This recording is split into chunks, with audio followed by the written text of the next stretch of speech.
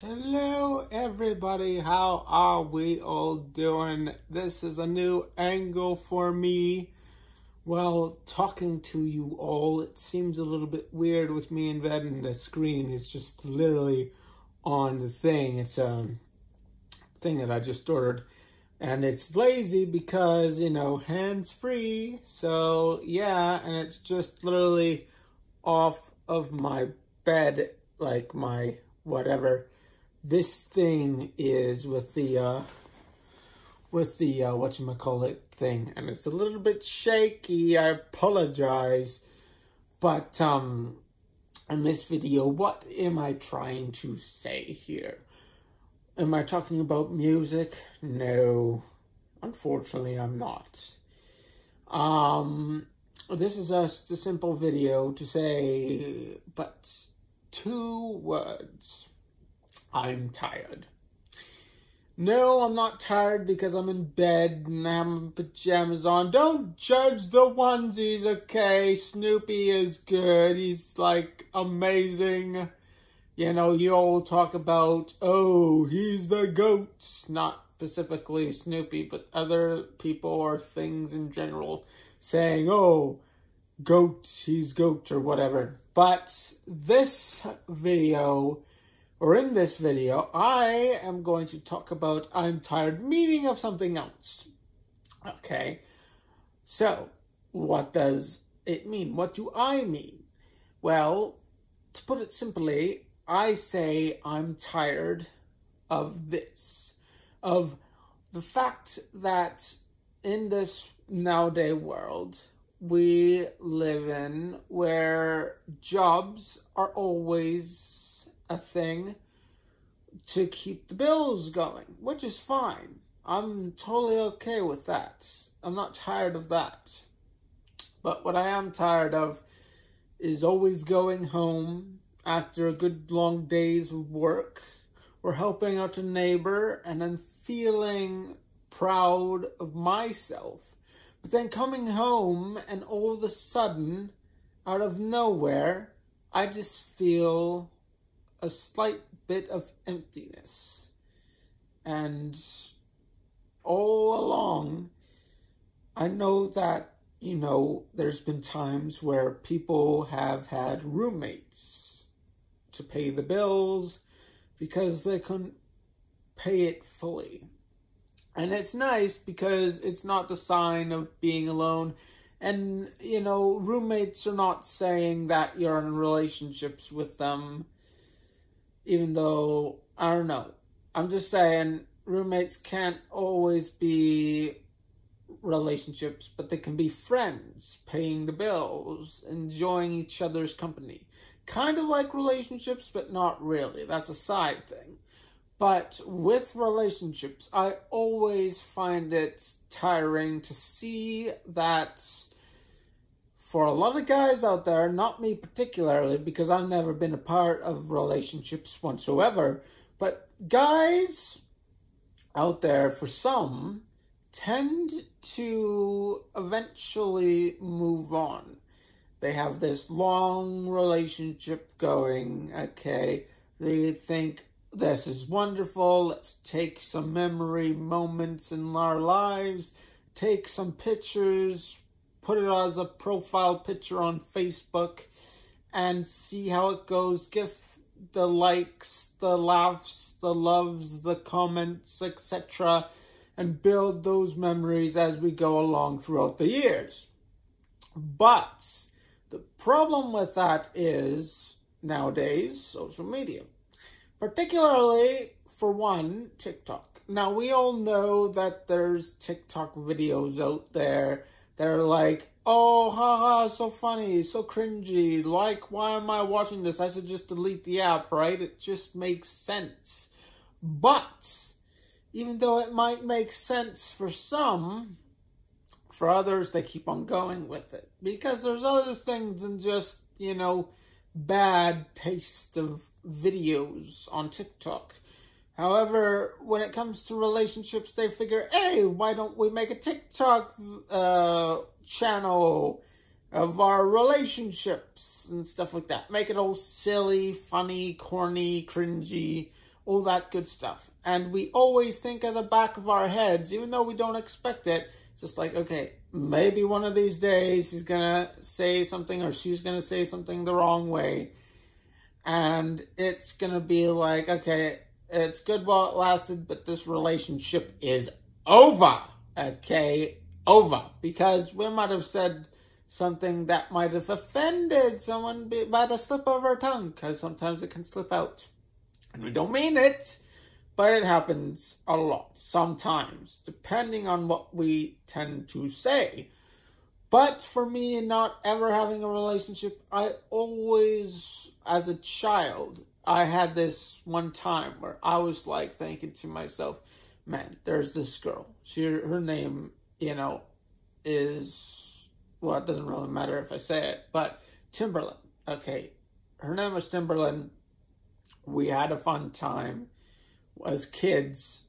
And my other friend, way back when, was named Daniel. We would have these debates of who would marry Timberland we would say, oh, I'm going to marry her. No, I am. Why? You got Bionicle collections and you got Trent, like, you're into Star Wars and whatever, because he was into Bionicles and Star Wars for some reason. He had this TV in his room, he had Lego sets, whatever. And, but we were kids and it was fun and it was funny, maybe. But there would be times would go up to him as a kid, or not him, but her, Timberland, as such, and I would sometimes see her crying on the side of the hill or something, because our background of after recess and stuff, we would have this backyard where it's filled with fields and then it had a downhill thing where it went into people's houses and stuff. It was amazing. But we just, every time we went down the hill, because that was like the best part of the whole landscape. But one day I was looking for Timberland. She was crying, and I asked why I once go there, why are you crying? And, you know, she had some things going on maybe with her parents or something, and I was the one that just wanted to help and help her. And because it was right, I thought for me to help somebody out, even if they were having a tr troubling time. And, you know, what have you. But I always seen myself as somebody that wouldn't mind going into a relationship, but we, but I always had a hard time going and figuring out how it all starts. I'd always ask my dad, hey, how did you get mom? You know, all these things as kids or teens or curious people would be when they're younger before they, you know, age and get old, old and stuff like that. And nowadays it's just like be yourself, all this stuff. But now with social media in the mix, there's just so much DMing and there's so much things going around that why we even bother with this whole thing. I mean, if I sent a text to a girl and she wants a relationship or she's looking for a relationship, but because I'm so darn kind and nice and generous or what have you, it's always about, oh, let's just be friends because you're so kind. Oh, that's so sweet of you. Oh, you make my day. But the thing is, yeah, friendship part, not relationship, but friendship. And that's the part where I'm always like, okay, I'll go out dancing for people to see, or I'd make music, or I'd go to my jobs, or anything like that. And at the end of the day, I'm home alone, as always, even in the apartment and in the rental house. And while I was waiting for this house, while being in a hotel room, and I also had to be missed out on New Year's because I had no one on New Year's. And there was these people outside of the hotel, and I'm like, hey, can I join you guys? Hey, why not? And I started playing music that I made. It's just like, oh, you know, hell no, get that stuff out of there, you know. They didn't want any part of it. So I was just like, okay, so I went back to my room, and that was that. I had, like, that's the thing with even New Year's. You also feel double alone because there's times where, oh, why can't I just spend time with, you know, a girl? You know, there's these things nowadays where you can actually pay for to see how it goes for a girlfriend. Like you could actually pay a girl to be your girlfriend or to pay a girl to be your mom or something. It's weird stuff, okay? It's weird. But I would never want to pay for a girlfriend. I would never want to pay for a mom because it's so like why? Why in the world? But I would hopefully someday again sorry for the shakiness of the camera because this is all new but um, I would like to hope that one day in my time, before I die, which hopefully will be a long time, is that this. I know I'm much of a kind of a popular person when it comes to this small town in particularly, but a lot of people know me. But the one thing I want or would like to have or one day would be a relationship. See how it goes. A lot of guys say, oh no, I'm so glad I've been back to single. The single life, I'm so happy to be back. Oh, this feels so good. I could watch my own stuff with anybody bothering me. That a girl or somebody might say, hey, why don't you drop that, come outside? And I'm having my family over. Because then, you know, with relationships, they're always trying to be busy and build memory and stuff like that. Save up for a vacation, go wild, okay? But the thing is, I've never been a part of those things, okay? I might have seen some crazy things in my day, but I have never been in a relationship, even though I would love to one day. And I think I would be pretty good at it. I'm a very humble, generous, kind, loving person. There could be more to add on to that, but that's all I can think of on the top of my head at the moment. But just hear me out. This stuff I've been going through for 25 years now that I'm 25. Yes, I've talked about me being a virgin. Yes, I talked about how on this channel I've never held hands with a girl, never kissed a girl on the lips or anything like that. No, I'm not a germaphobe. No, I'm not gay. No, no, no, no, no.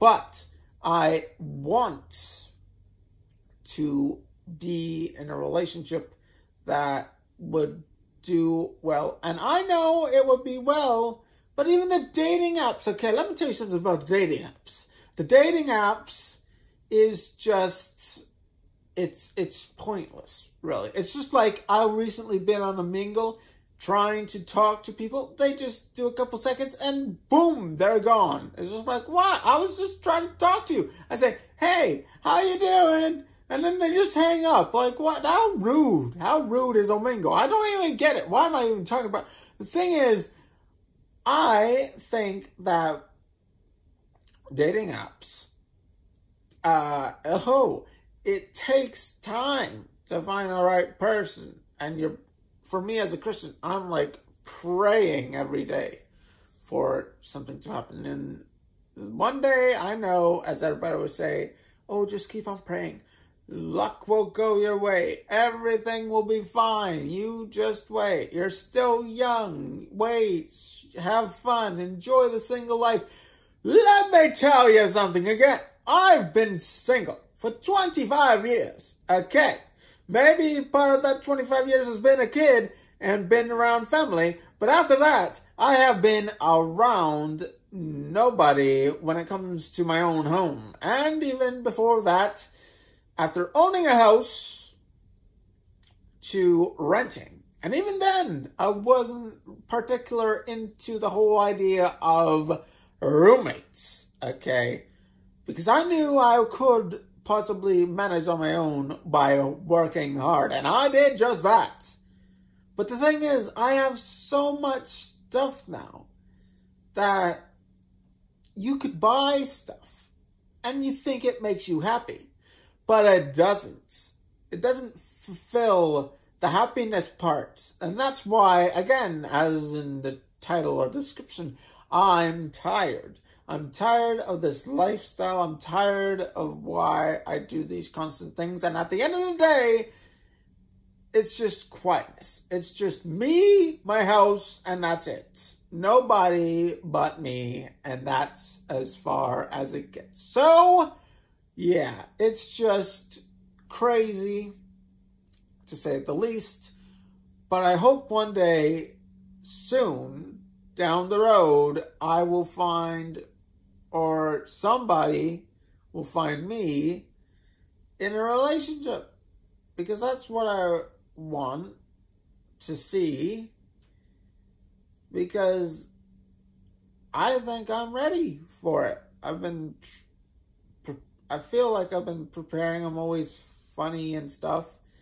People, girls like it when guys are funny. Maybe I don't know, but I'm willing to like commit to something like this because I'm just tired of this lifestyle and I'm just disappointed in like how guys are some days where it's just like oh yeah it's the end of the ropes you know we had a long run and stuff like that and then it's over it, messes up girls' heads and stuff like that. And I hate that.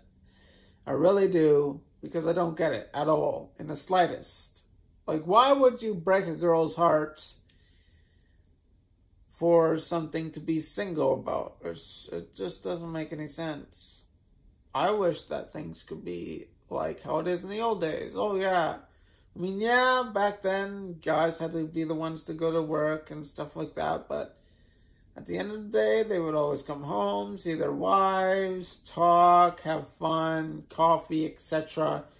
Next day would come, same old, same old, but at least that guy had someone to look forward to when he came home. Me, I'm not that guy. I'm not that guy that goes to work, comes home, and somebody's waiting for me. Because if that's the case, I would be happy. I wouldn't mind that. But it just sucks because I'm still here. I'm still working, but I'm still coming home to nobody. Okay? I just don't know what else to say. It just drives me absolutely crazy because it's true. But, anyways, it's been nice talking to you all. But I will have to say I'll have to go.